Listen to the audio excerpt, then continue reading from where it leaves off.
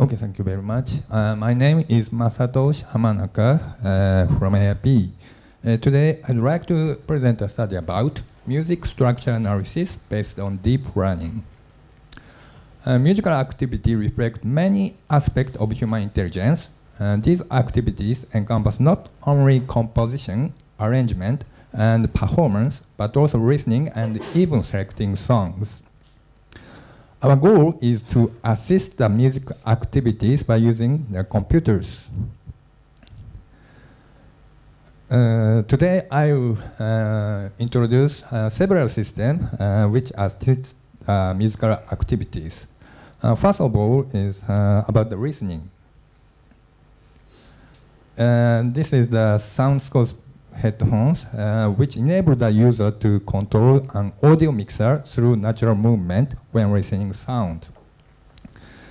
Uh, at the top of the headphone, there is a digital compass and tilt sensor. And on the outside of uh, right speaker, uh, there is an infrared distance sensor. So let me show you a video of SoundScope headphones.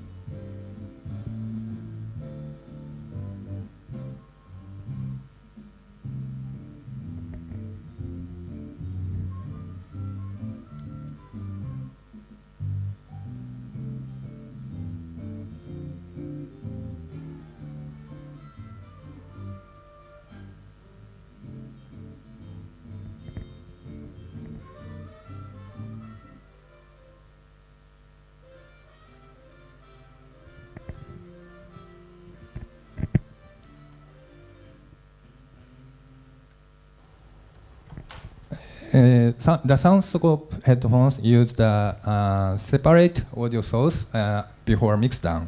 However, it is difficult to acquire that kind of sound source, so we attempted to uh, separate the solo guitar from CD by using NMF, non-negative matrix factorization. So uh, first I'll play the sound from CD.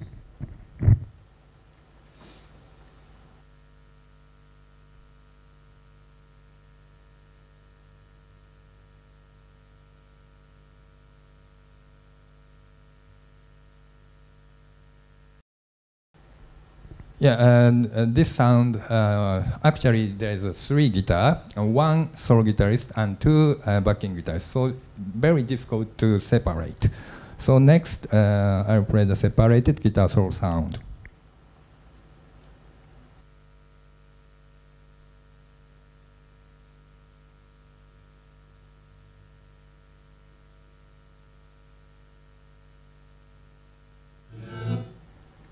Uh, not perfect, but uh, almost all the uh, note was detected. Okay, next one is Music Scope headphones. Uh, the Music Scope headphones use the same device as uh, SoundScope headphones. Uh, it reduces computer mouse operation for selecting a sound from many unknown ones. Uh, there are two mo modes, uh, selecting mode and listening mode. Uh, when a user uh, stops the head in the selecting mode, it moves to listening mode. When a user shaking the head in the listening mode, it moves to selecting mode.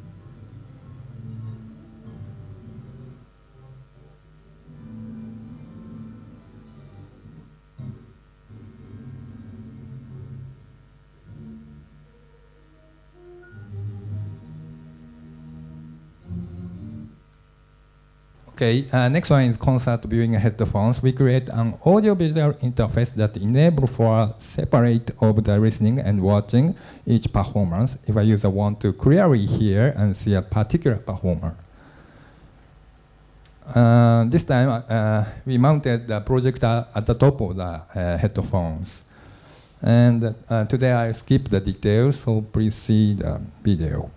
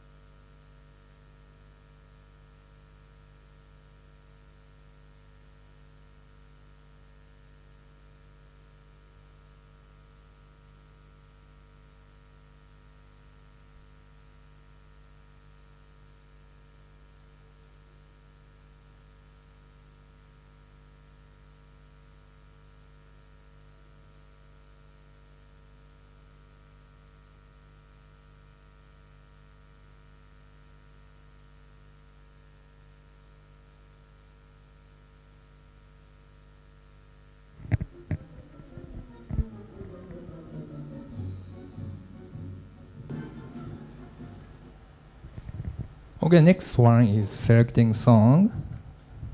Yeah, I'll introduce Band Navi. Band Navi enables user to find new bands and music by examining the relations between musicians in bands, uh, which are affected by member member changes and collaborations.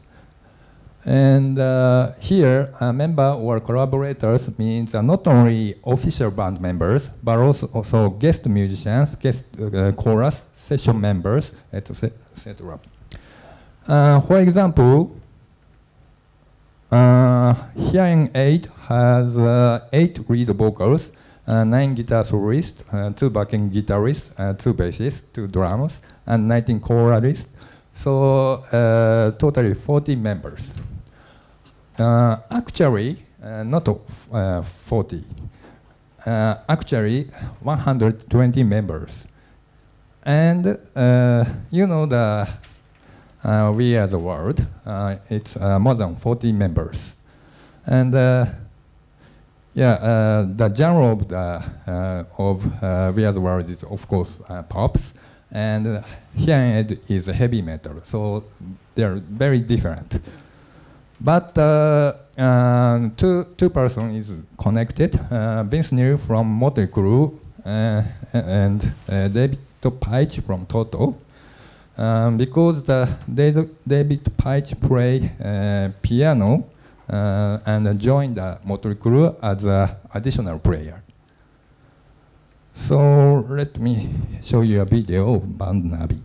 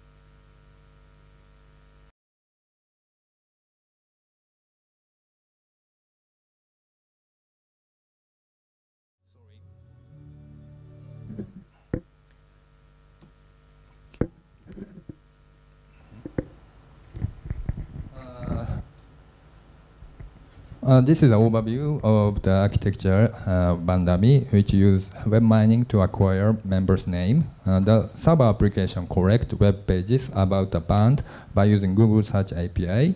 The server application extracts musician's name uh, from the collected web pages by pattern matching them with the name of musician instrument.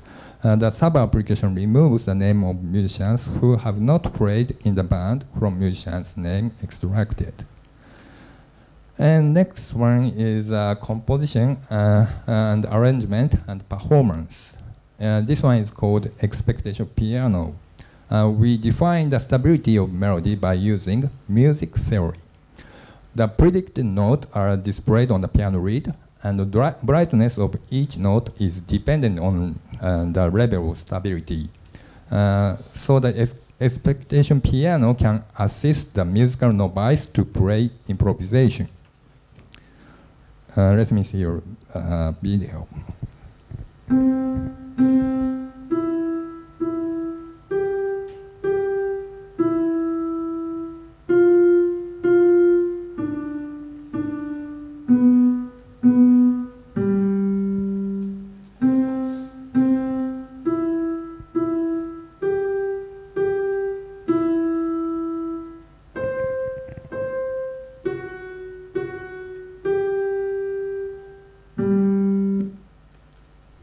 Uh, this is a score about Haydn's Andante, and uh, here is a, a, level of stability.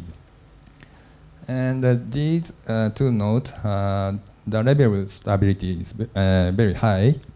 This is because dominant chord note that won't resolve to a tonic chord note. And these two notes, the level of stability is low.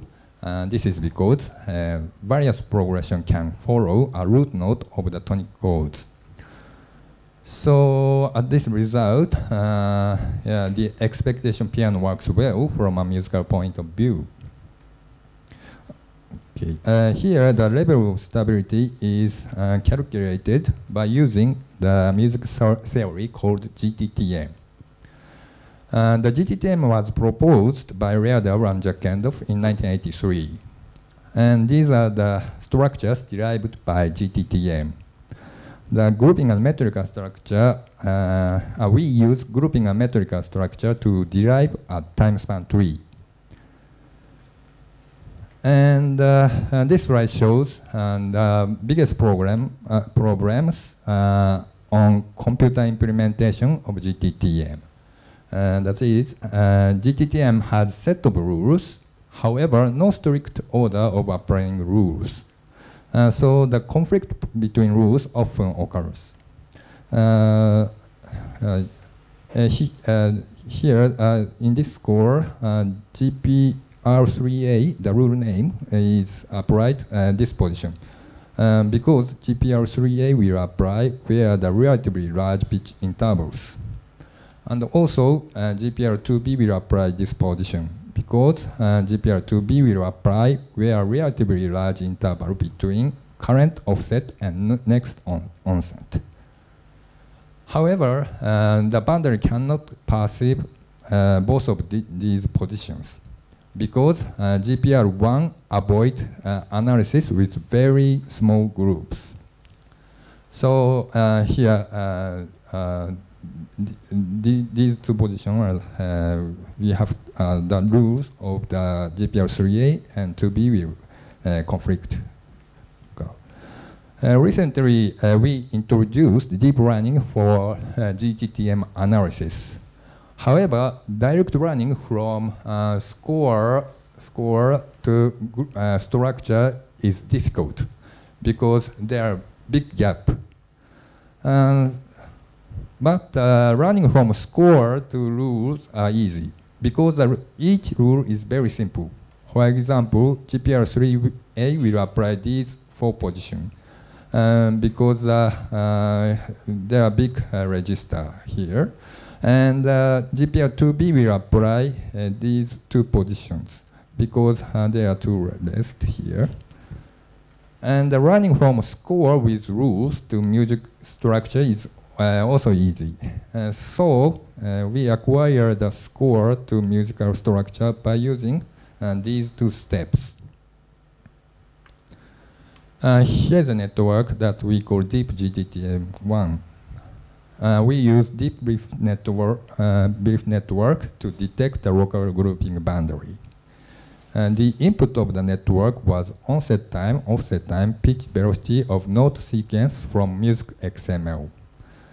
And the output of network formed multitask learning, which had 11 outputs, such as 10 kinds of grouping preference rules and local grouping boundaries. Yeah. And individual output has two units, such as uh, rules that were not applicable and the rules were applicable. Uh, or those with no boundary or uh, and boundaries. Uh, unsupervised pre-training was done by stacking restricted Boltzmann machines from the input to the final hidden layer. Uh, supervised fine-tuning by backpropagation from grouping preference rule uh, to input layers. And finally, supervised fine-tuning with labeled dataset of uh, with local grouping boundaries. Uh, now here's the result. We evaluated the performance of deep GTTM1 by using 100 pieces from the GTTM database, which the remaining 200 pieces were used to train the network. Uh, the result indicate deep GTTM1 outperformed the previous analyzers in the F measure. Uh, uh, here's the conclusion. Um, before the last two slides, uh, we developed uh, deep GTTM uh, and it outperformed the previous analyzers. And we plan to implement the time span tree analyzer on the basis of deep learning. And we also plan to develop the application uh, which use time span tree, uh, such as melody morphing uh, method. Uh, finally, I uh, just introduced the melody morphing method. Yeah, uh, first we input two melodies, A and B. then we can analyze the time span tree, TA and TB. And then we can acquire the common information uh, of uh, these uh, time span trees by using meet operation, TA meet TB. And then we can acquire TC here as an intermediate of TA and TA meet TB because uh, the information of TA includes uh, this tree. On the same way, we can acquire TD as an intermediate of TB and TA meet TB. And finally, we, we, uh, we can uh, get the uh, morphed melody, uh, TC join TD, as combining the TC and TD. Okay, uh, here's the last uh, slide and the last video. in the next video, we just input two melodies. Uh, uh, one is original melody, and the other is a guitar throwing. And uh, intermediate melody is calculated by the, that method.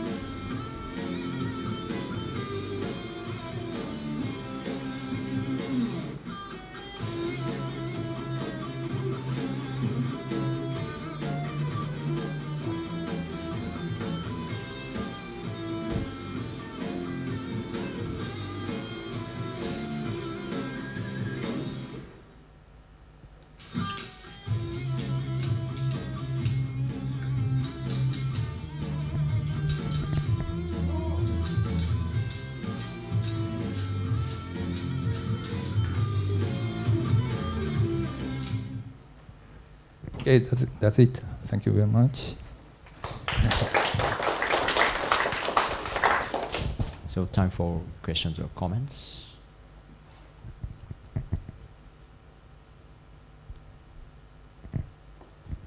So you can ask a question. So you showed our uh, deep GTTM, and our, uh, I maybe I missed something. What, what is our output of our deep deep network, and uh, how do you prepare the teaching data? Uh, this is a uh, grouping boundary. Uh, is uh, here there is a rest. So here is a grouping boundary. Okay, so the grouping boundary is the yeah. output of the network. Yes. Okay, then there. Okay. So the uh, yeah, musicologists make the structure analyze. Only the musicologists can analyze. so we we try to auto, auto uh, automatic uh, generate the structure by using and deep learning. Uh, but perhaps uh, so you as a teaching data you just yeah uh, yes uh, boundary with boundary with rules. Okay rules so are also important. Uh, rule so, so you um so so the some pro professional person um gave their teaching there? Yeah, uh, rules is, is from the theory. Uh, in the theory, there is many rules. Uh, uh, here is a yeah, there is a, a rest, so uh, GPL 2A will apply here. But it's not automatically. Well. Yeah, uh, this one is uh, very easy, so it ah, can easy. It, it, can automatically. But uh, GPL 6 is actually very difficult.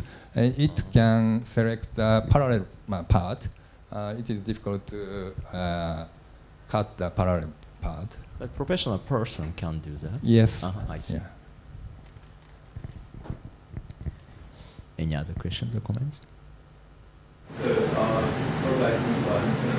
But for more simple melodies in one, so probably you definitely want to uh, avoid dissonance mode, right? Dissonance? Dissonance? What? For one. Ah, And so how do you yeah. like, avoid dissonance? Yeah, yeah, yeah, thank you very much. Uh, it's a good question. Uh, yeah, uh, the melody, if the input melody is completely different, uh, we cannot acquire um, this tree because it will be empty. So the uh, almost the uh, uh, these two melodies uh, we need the similar melodies, and uh, uh, yeah, this uh, usually uh, the code progress- progression is same.